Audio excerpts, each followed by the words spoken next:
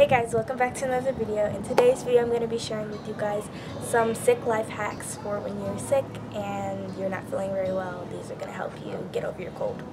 This home remedy is really good for when you have sore throat and congestion. So first, you guys want to take your water bottle and just drink some out.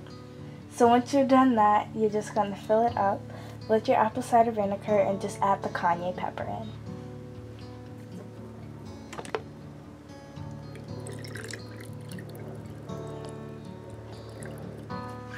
I like mine to be a little spicy, but if you guys want yours to be a less spicy, just add less cayenne. And just shake it up. So the first thing you guys want to do is run your water until it becomes hot and then after add all your essential oils that you're going to be using. I recommend mint and lavender.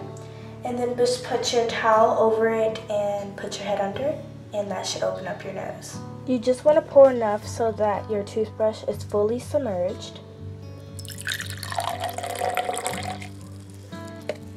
My toothbrush head removes, but if yours doesn't, you can just set your whole toothbrush in.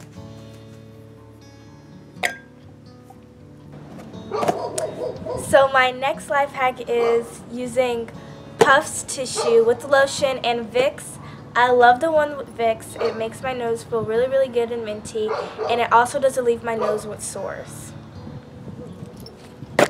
Uh-oh, my bad.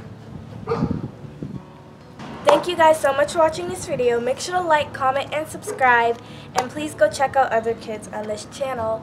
Bye!